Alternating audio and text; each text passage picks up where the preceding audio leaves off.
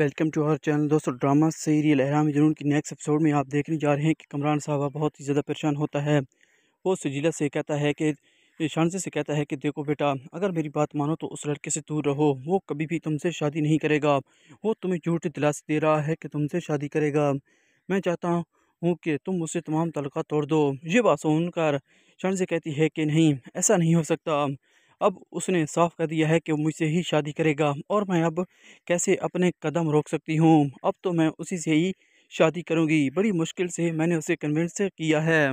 ये बात सुनकर कमरान साहब बहुत ही ज़्यादा परेशान हो जाते हैं और शानजे से कहते हैं कि, देखो शानजे मैं तुम्हारी आँखों में आँसू नहीं देख सकता। अगर उस लड़के ने तुम्हारे साथ ऐसा वैसा करने की कोशिश की, तुम्हें धोखा देने की कोशिश की तो मैं उसे तबाह बर्बाद कर दूँगा। उसे ज़िंदा नहीं छोड़ूँगा। तुम्हारी आँखों में मुझे आँसू बिल्कुल ही बर्दाश्त नहीं हैं। अब बहुत ही ज़्यादा शान से ये बात सुनकर परेशान हो जाती है। उधर दूसरी तरफ़ अब आप ये भी देखने जा रहे हैं कि अब यहाँ पर बहुत ही ज़्यादा परेशान होती है नादिया और अपनी माँ से कहती है कि, अम्मी शानी को ऐसा बिल्कुल नहीं करना चाहिए था। उससे सजीला से ही शादी करनी चाहिए थी। ये बात सुनकर नादिया की माँ कहती है कि, बेटा, जो कुछ सजीला ने किया है ना शानी के साथ, शानी ने बिल्कुल ही दुरुस्त फैसला किया है।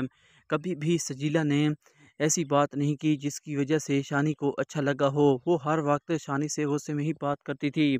शानी ने बिल्कुल ही सही फैसला किया है। ये बात सुनकर हम नादिया बहुत ही ज़्यादा परेशान हो जाती है। वो तो यही चाहती थी कि जल्द ब जल्द सजीला और शानी की शादी हो जाए, लेकिन इसके बरक्सी हो रहा है। इसकी सारी जिम्मेदार अब सजीला खुद ही। है उसी ने ही शानी को खुद से दूर किया है। तो दोस्तों, ये सब जब आप नेक्स्ट आने वाले एपिसोड में देखने जा रहे हैं। खुद ऑफ़िस अपना ख्याल रखें।